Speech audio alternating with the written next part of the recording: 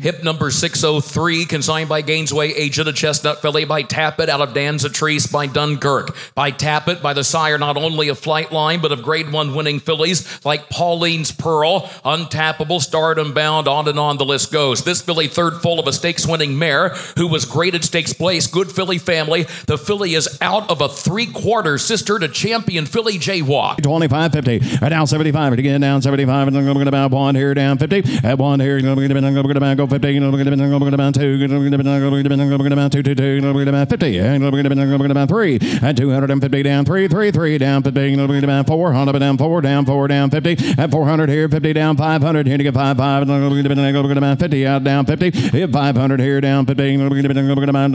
to get 550, I'm going to about, I'm going to about 600, hit 550 here down, take it down, down, about 50, I'm going about seven, I'm going to about the man's out, hit 700 down 50, down 750 down eight, at seven and a half here down to eight, 850, I'm going to down nine, nine, nine, nine, nine, down 900, hit 900 down million, and I'm going to about 50, and get 50 down million. What you got? I'm going to about a million, take it down wide, at a million 50, I'm going to about a million here down 50, no, it's up here down, million 50, Tiger out as well, million bid, million 50, at 1 million, hold up and down 50, I'm going to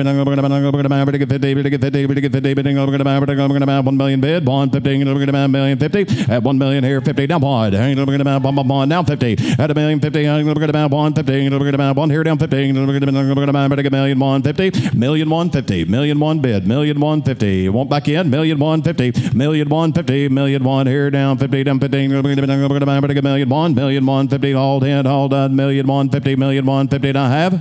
Jesse, 1,100,000. Thank you.